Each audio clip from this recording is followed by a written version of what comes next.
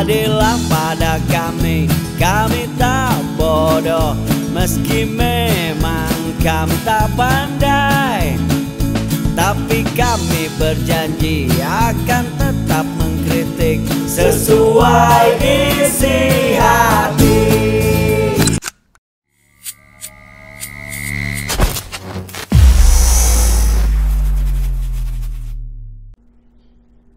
Hati-hati Pak. Ustadz Hidayat Nur Wahid juga udah ngingetin Anda. Jangan sampai ini jadi bagian dari gerakan politik identitas sekularisme. Karena jelas nggak sesuai dengan Pancasila dan ketentuan Undang-Undang Dasar 45. Mengeluarkan pelajaran agama dari sekolah adalah ide yang liar dan berbahaya. Harus ditolak sejak awal. Dia salah dalam memahami peran agama di sekolah. SD Darmono, pengusul dihapusnya pelajaran agama di sekolah, ternyata adalah di media ramai berita tentang praktisi pendidikan Setiono Juandi Darmono yang biasa dipanggil SD Darmono.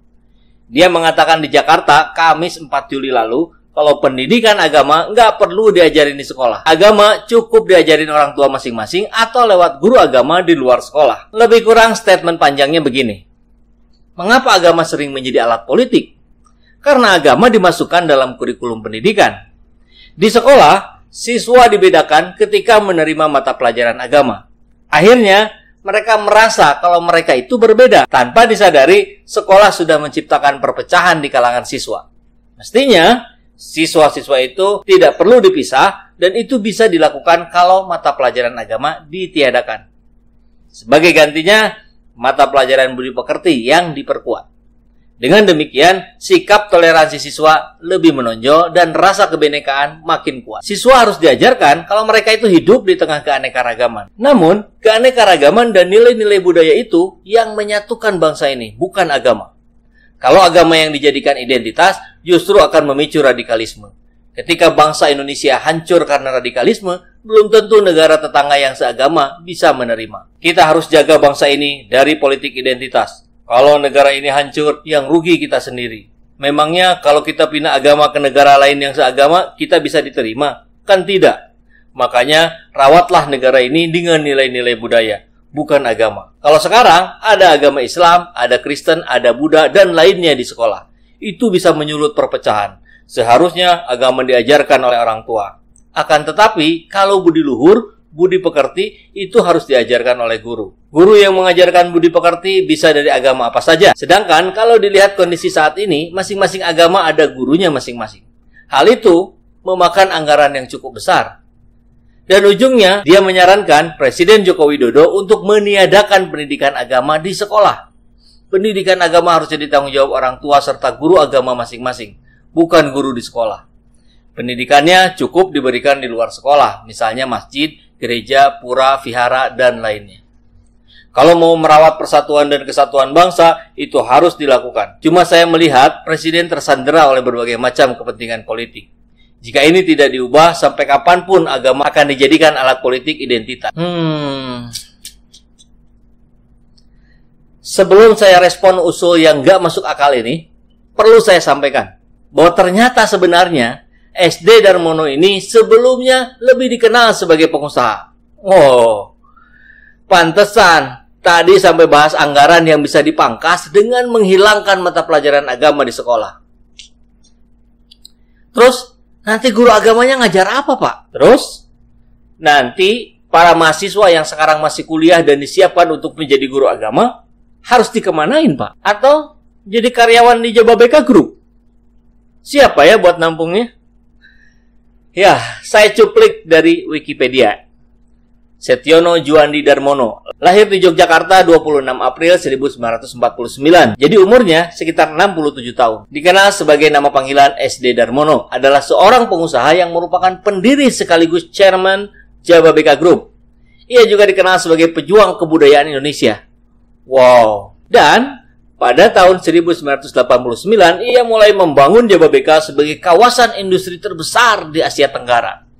Nah loh, jadi sebutan praktisi pendidikan yang di awal video tadi justru kelihatannya baru tahun 2001 terjun di dunia pendidikan dengan mendirikan Presiden University. Perguruan tinggi swasta yang memakai bahasa Inggris sebagai medium komunikasi ini mewadahi dosen dan mahasiswa baik domestik maupun internasional.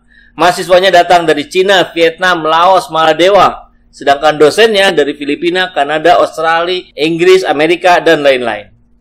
Presiden University terletak di kawasan industri yang didukung 1.700 perusahaan multinasional dari lebih 30 negara. Wow.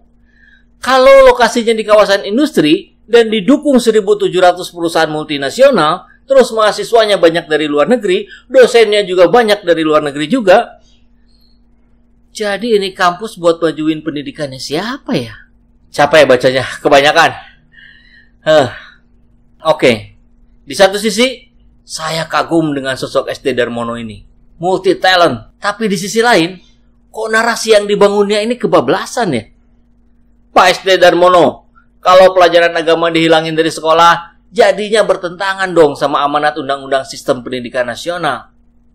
Dan bahwa tujuan pendidikan nasional sebagaimana yang termaktub dalam Undang-Undang Nomor 20 Tahun 2003 adalah mengembangkan potensi peserta didik agar menjadi manusia yang beriman dan bertakwa kepada Tuhan Yang Maha Esa, berakhlak mulia, sehat, berilmu, cakap, mandiri, dan menjadi warga negara yang demokratis serta bertanggung jawab. Saya ingetin Bapak ya, dulu Kiai Haji Hashim Asyari menyerukan kalimat kubul waton minal iman. Cinta tanah air sebagian dari iman. Sebagai penyemangat rakyat terkhusus santri-santrinya untuk mengusir bangsa penjajah dari bumi pertiwi. Jadi wajar kalau kemudian Kiai Haji Profesor Dr. Said Agil Siroj, seorang tokoh dan ulama modern Indonesia menyatakan agama tanpa nasionalisme akan menjadi ekstrim, sedangkan nasionalisme tanpa agama akan kering. Beliau menambahkan bahwa fenomena ekstremisme agama lahir dari orang dan kelompok orang yang terlalu eksklusif dan sempit dalam memahami agama, bukan karena ajaran agamanya. Ketakutan Bapak atas radikalisme yang dikaitin sama pelajaran agama di sekolah benar-benar nggak ketemu kaitannya, Pak. Pak, agama itu mengajarkan akhlak dan adab yang baik. Agama itu mengajarkan budi pekerti. Agama itu mengajarkan toleransi. Dan perbedaan itu sejatinya adalah ketentuan Allah Subhanahu wa taala. Perbedaan itu sunnatullah. Menghilangkan kesan berbeda justru membuat kita nggak siap dengan perbedaan itu sendiri. Tudingan terhadap pendidikan agama sebagai pemicu adanya politisasi agama merupakan pernyataan yang offside. Jadi Pak, segeralah klarifikasi statement itu publik pasti marah sama Anda. Tudingan pendidikan agama sebagai pemicu adanya politisasi agama juga merupakan tindakan menyederhanakan persoalan. Serampangan menyimpulkan sebab yang nggak berhubungan sama akibat. Agama jelas nggak bisa dipisahin dari kehidupan politik dan kehidupan sosial lainnya. Agama harus jadi sumber nilai etik dalam berpolitik dan dalam kehidupan sosial lainnya. Dan itu harus sedini mungkin dikenalkan dan diajarkan di sekolah. Tentu disesuaikan dengan jenjang taraf belajarnya. Jika ada persoalan agama dijadikan komoditas politik, itu perkara yang berbeda yang nggak bisa dikaitin dengan materi pendidikan agama di sekolah. Politisasi agama merupakan hal yang tidak ada sakut pautnya dengan pembelajaran pendidikan agama di lembaga pendidikan. Jika logika ini dipakai, bagaimana dengan madrasah dan pesantren? Intinya, mengeluarkan pelajaran agama dari sekolah adalah ide yang liar dan berbahaya harus ditolak sejak awal. Dia salah dalam memahami peran agama di sekolah.